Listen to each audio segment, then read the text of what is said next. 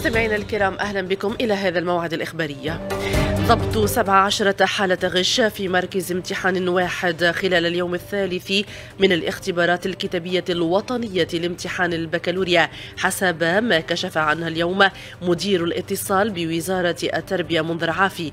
وأفاد عافي في تصريح لوكالة تونس إفريقيا الأنباء أنه تم إيقاف كل المراقبين المشرفين على هذا المركز وإحالتهم على التحقيق للتثبت من إمكانية تورطهم في هذه القضية. مبين مبينا أنه تم خلال الثلاثة أيام الأولى من امتحان البكالوريا.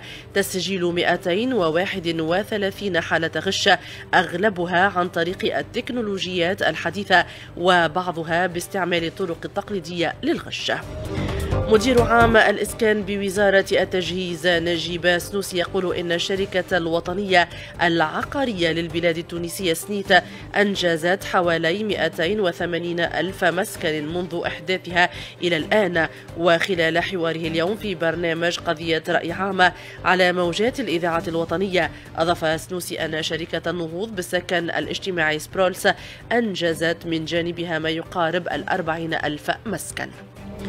وزير الفلاحة والموارد المائية عبد المنعم بالعاتي يؤكد أن تونس تعرضت إلى ضرر كبير جراء انعكاسات التغيرات المناخية التي تسببت في نقص كبير في الأمطار وفي المياه وفي تسجيل درجات حرارة مرتفعة ومن جر عنها من حرائق خاصة في السنة الماضية. مؤكدا في تصريح للأخبار أن الدول الصناعية الكبرى هي المتسببة في هذا الوضع. كما دعا هذه البلدان إلى الوقوف الوقوف إلى جانب الدول المتضررة وتحمل مسؤولياتها وإيجاد الحلول الكفيلة للتعامل مع هذا الخطر.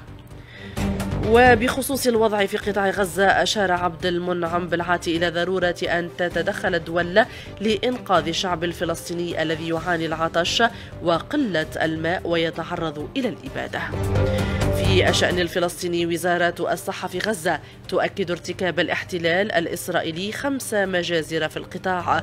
وصل منها إلى المستشفيات أربعون شهيدا ومئتان وثمانية عشر مصابا خلال الأربع والعشرين ساعة الأخيرة.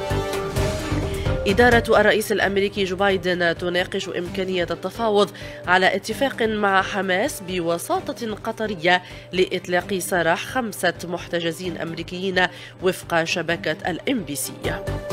حزب الله يستهدف التجهيزات التجسسية المستحدثة في ثكنة صهيونية مما أدى إلى تدميرها وصفارات الإنذار تدوي في الجليل الغربي قرب الحدود مع لبنان.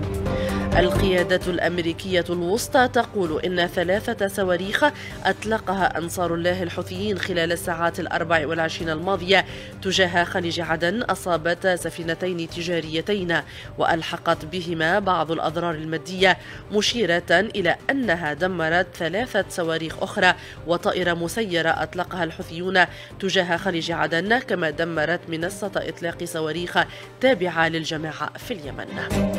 ختام الموجز قدمته لكم نفيسة حسني في أمان الله. الأخبار متواصل